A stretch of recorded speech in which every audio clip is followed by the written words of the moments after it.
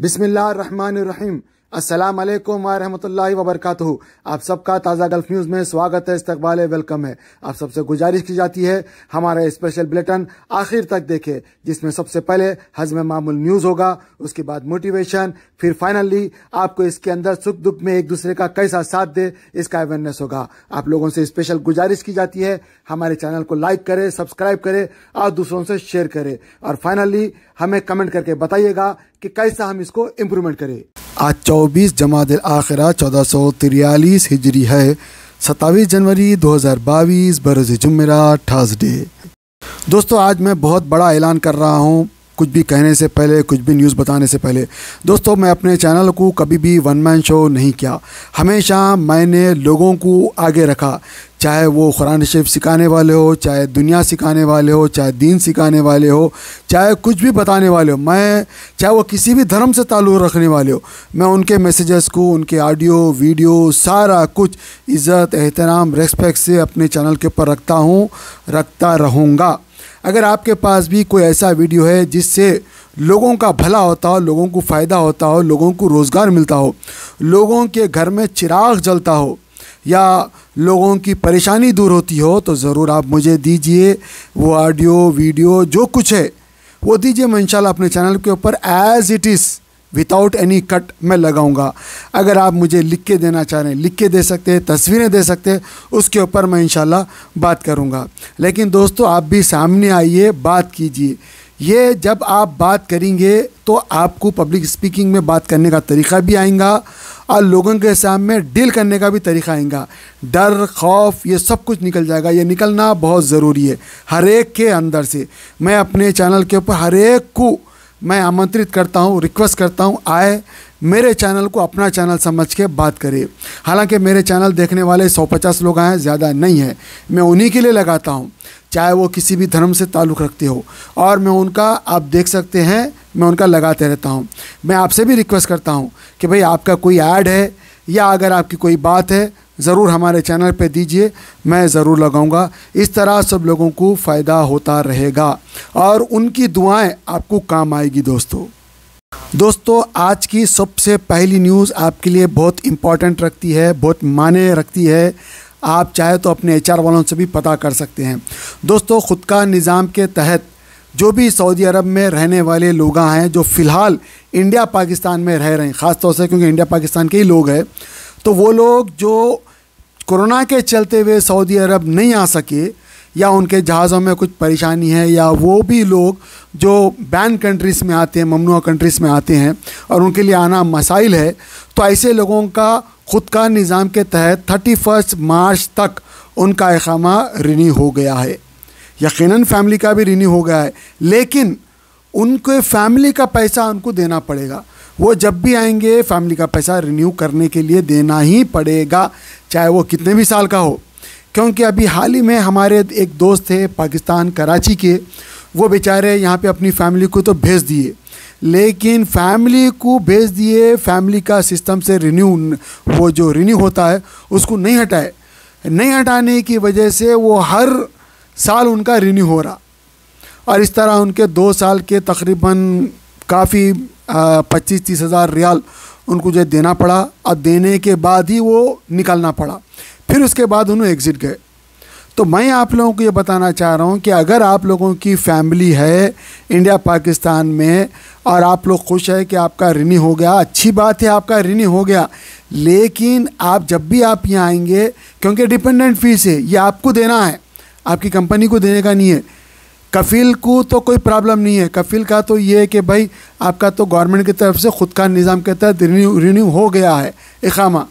लेकिन जब भी आप यहाँ पे सऊदी अरब आएँगे तो आपके फैमिली के पैसे आपको देने ही देना है।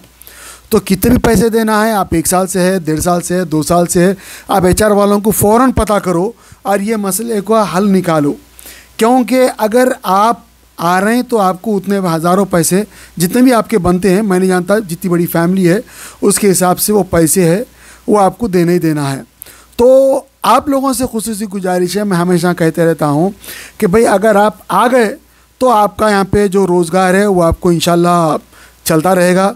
अगर आप समझते हैं कि भाई आपका रोज़गार यहाँ पे नहीं है तो आप ज़रूर इंडिया पाकिस्तान के अंदर ट्राई कीजिए और यहाँ पे अपना जो सिस्टम है, उसको अपना नंबर इकामा ये वो सब अपने कफिल से बात करके या चार लोगों से बात करके उसको क्लियर करा लीजिए।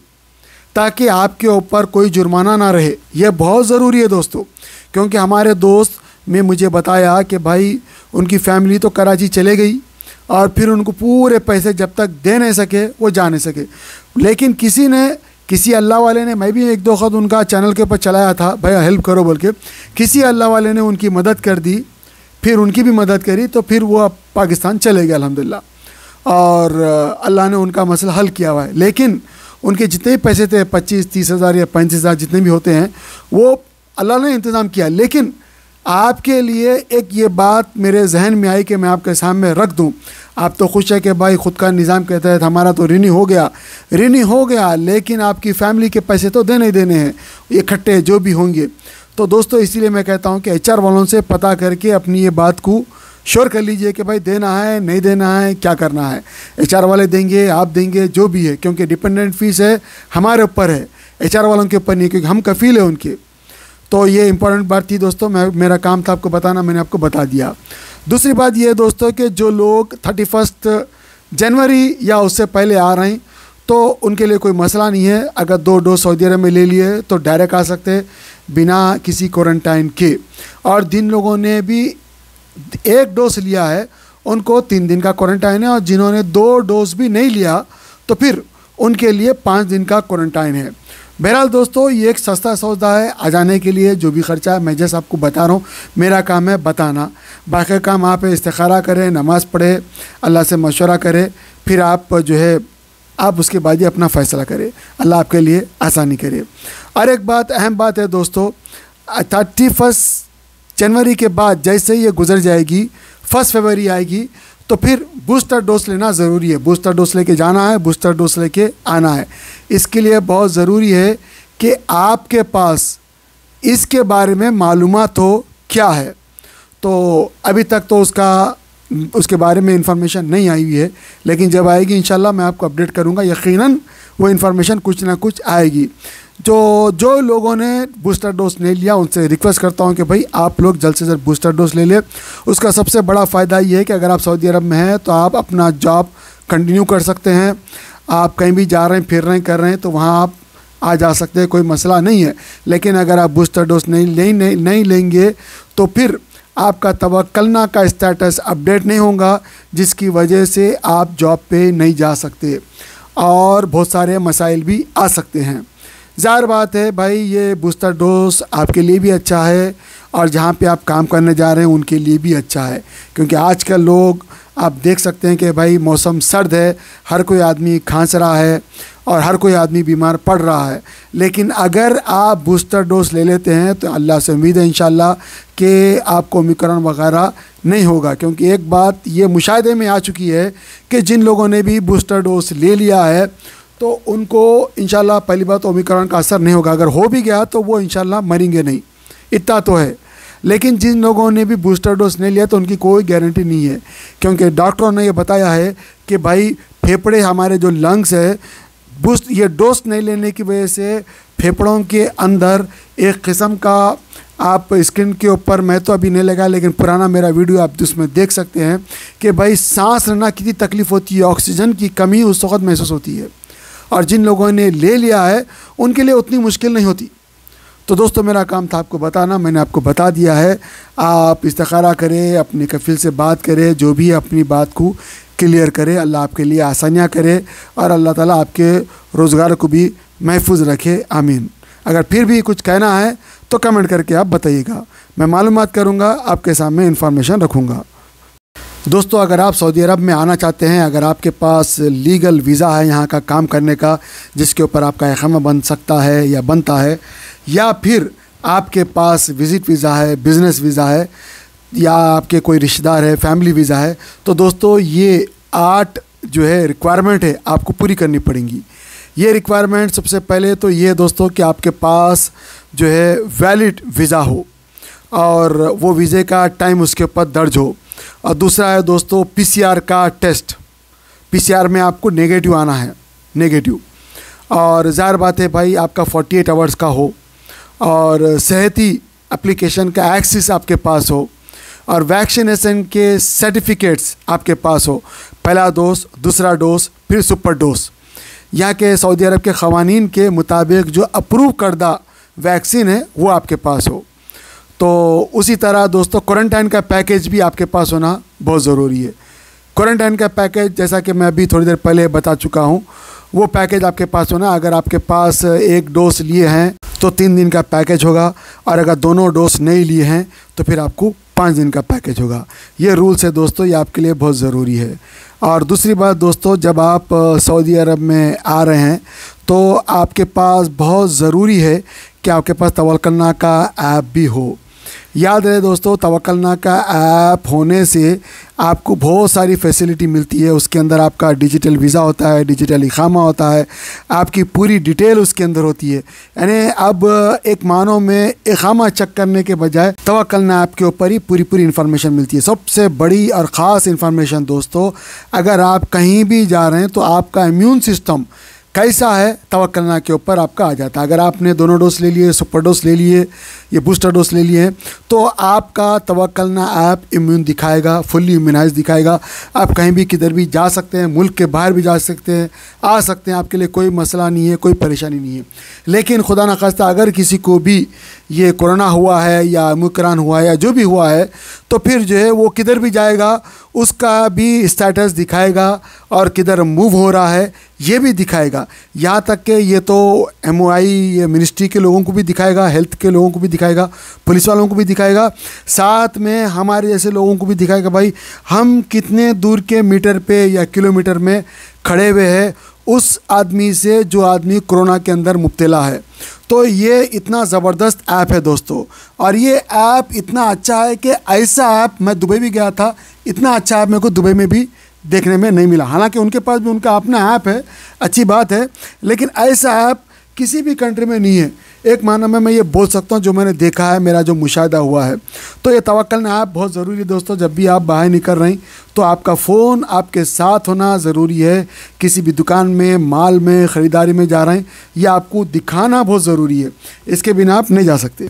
और दोस्तों, इसके साथ साथ जैसा कि मैंने आपको बताया कि भाई, वैक्सीनेशन सर्टिफिकेट भी हो मुहिम वैक्सीनेशन रजिस्ट्रेशन का भी हो, क्वारंटाइन पैकेज हो, फ़्लाइट टिकट हो पासपोर्ट हो वैलिड वीज़ा हो। मैं फिर से आपको रिपीट कर दूँ दोस्तों नेगेटिव पीसीआर की टेस्ट रिपोर्ट हो, सेहती एप्लीकेशन का एक्सिस हो वैक्सीनेशन सर्टिफिकेट हो मुहिम वैक्सीनेशन का रजिस्ट्रेशन हो, और क्वारंटाइन पैकेज हो फ़्लाइट टिकट हो पासपोर्ट हो वैलिड वीज़ा हो। ये आठ चीज़ें आपके पास होना बहुत ज़रूरी है दोस्तों, और ये आठ चीज़ों का डायरेक्ट ताल्लुक़ आपके तवक्लना से है। दोस्तों, अगर आप सऊदी अरब में हैं और कार चलाने का लाइसेंस आपके पास है और आपके पास जो है कार भी है तो फिर दोस्तों, आपके पास ये आठ रूल को फॉलो करना बहुत ज़रूरी है। पहली बात तो दोस्तों, आपका लाइसेंस बिल्कुल रिन्यू हो के अपडेट होना कंपलसरी है। और साथ में दोस्तों, आप, आपके पास जो है अगर कार है तो कार के ऊपर फास, यानी कार का कंप्यूटर होना भी बहुत ज़रूरी है। उसका स्टिकर कार के ऊपर लगा दिया जाता है।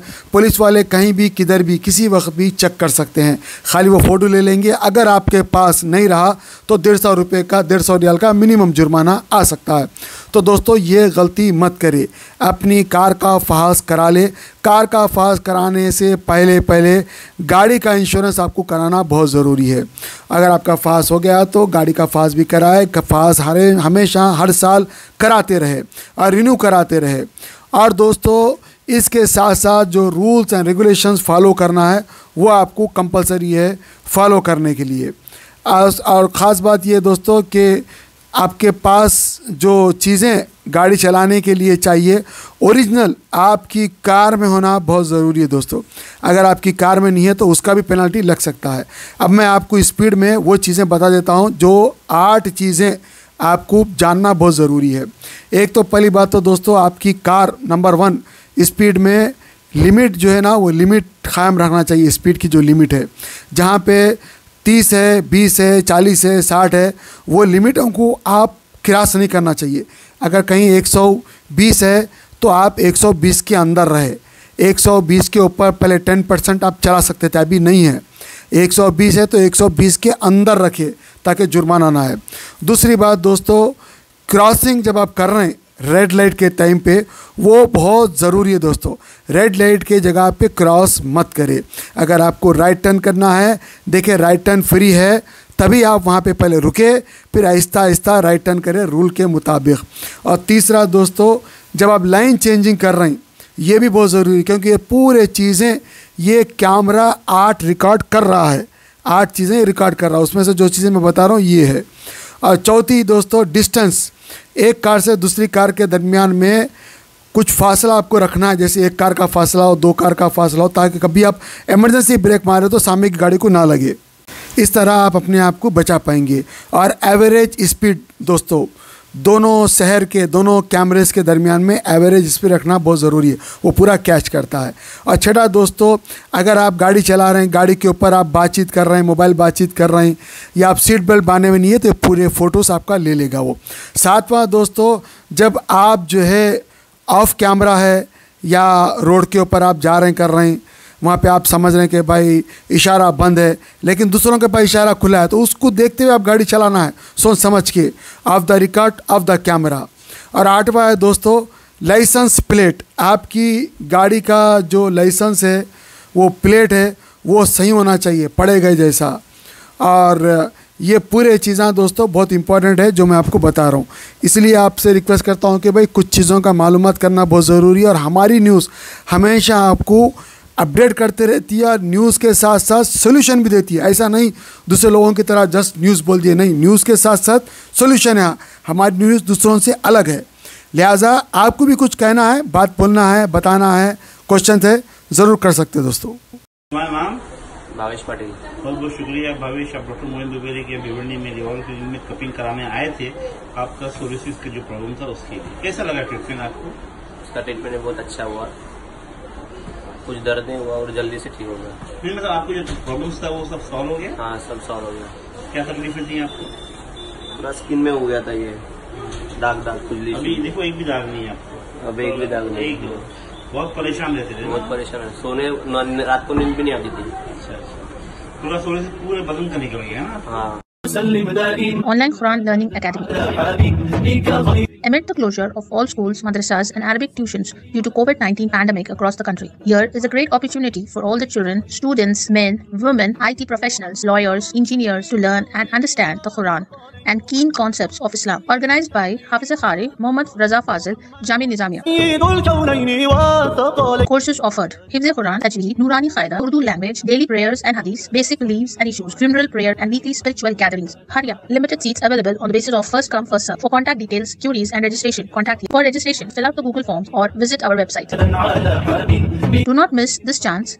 as it can revolutionize your children's Islamic knowledge and discipline too.